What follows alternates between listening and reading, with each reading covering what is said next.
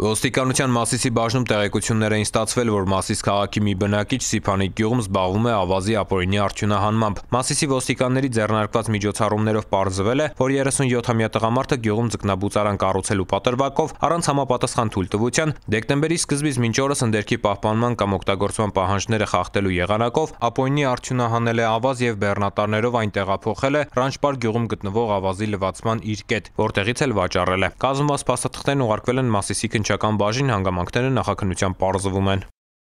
Ծանուցում. Ենթադրյալ հանցանքի մեջ կասկածվողը կամ մեղադրվողը համարվում է անմեղ, քանի դեռ նրա մեղավորությունը ապացուցված չէ Հայաստանի Հանրապետության քրեական դատավարության օրենսգրքով սահմանված կարգով՝ դատարանի օրինական ուժի մեջ մտած դատավճռով։